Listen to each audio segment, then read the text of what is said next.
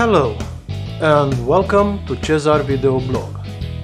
Today it's a journey in repairing a Sharp Optonica RT1155 second part. Let's dive in.